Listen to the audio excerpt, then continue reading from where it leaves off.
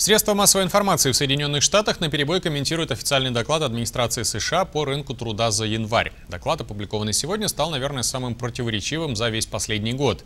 В нем указывается как позитивные, как на позитивные, так и негативные процессы в американской экономике. Какие изменения следует расценивать положительно и какие отрицательно, мы попросили рассказать постоянного ведущего экономических новостей Вадима Оленичева. Вадим, пожалуйста. Добрый вечер, Валера. Чтобы разобраться в докладе Министерства труда, надо взглянуть на два основных показателя, а именно на уровень безработицы и темпы создания рабочих мест. Данные по безработице оказались позитивными. Год назад безработица равнялась 8%. Ее уровень в январе вновь понизился и сейчас составляет 6,6%. Это, безусловно, положительный момент, так как нормальным уровнем даже для периода роста экономики в США считается отметка в 5%. В предыдущие месяцы безработица снижалась отчасти и потому, что все больше американцев прекращали поиски работы и официально уже не числились безработными. Другие, наоборот, хватались за все, что попадется.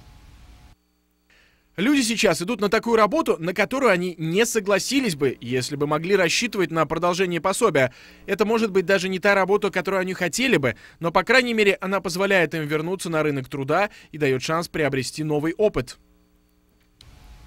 Пожалуй, это так. Во всяком случае, в январе было отмечено, что безработные, наоборот, возвращаются на рынок труда, видя некоторые улучшения ситуации. Но вот найдется ли для них работа – это вопрос. Увеличение рабочих мест в январе оказалось самым низким за весь последний год. При среднем месячном уровне в 194 тысячи январский прирост составил всего 113 тысяч. Правда, большинство экспертов сошлось на том, что более суровая зима спутала все карты. Из-за снегопадов множество работников не рассылали свои резюме в компании, а тысячи бизнесов по всей стране были закрыты.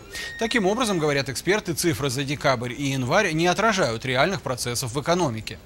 До наступления зимы ощутимый прирост рабочих мест отмечался в сфере промышленного производства, строительстве и в горнодобывающей индустрии. Судя по всему, эти тенденции будут развиваться и в нынешнем году. Валера. Спасибо, Вадим. Это был наш экономический обозреватель Вадим Оленичев с анализом новых цифр по безработице в Соединенных Штатах.